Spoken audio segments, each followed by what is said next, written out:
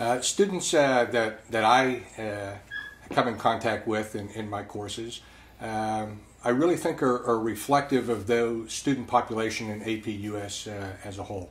Uh, we've got students uh, that are everywhere from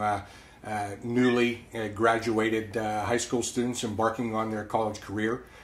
to those working professionals who may have been out of formal education for a decade or more. Uh, each one of them brings, uh, I think, their own strengths uh, to their program and their pursuit of, of higher education. But I think the one thing that's consistent among the population, at least uh, I've not seen it mirrored uh, in other institutions that I've worked at, is that each of the students that comes to APUS is generally committed to doing well and to furthering themselves in their academic pursuits.